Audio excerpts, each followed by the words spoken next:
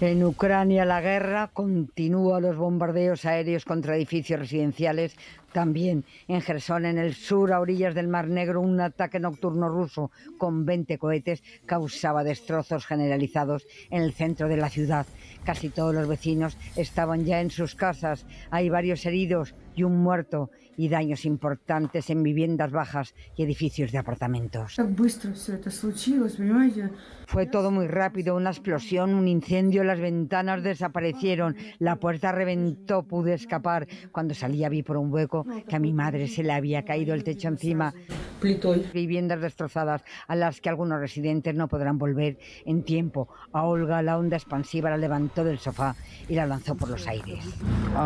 Las ventanas están rotas colgando. Hubo dos impactos sobre las 5 de la mañana. No entendía lo que estaba pasando hasta el segundo impacto que me tiré al suelo. Las hermanas Natalia y Tamara se quedaron atrapadas bajo los escombros de su casa. Los rescatistas pudieron sacarlas a tiempo. Empecé a gritar, ¿estás viva, Tamara? Gritaba, gritaba hasta que la escuché decir, sí. Encendió la linterna, vi que estaba cubierta de sangre.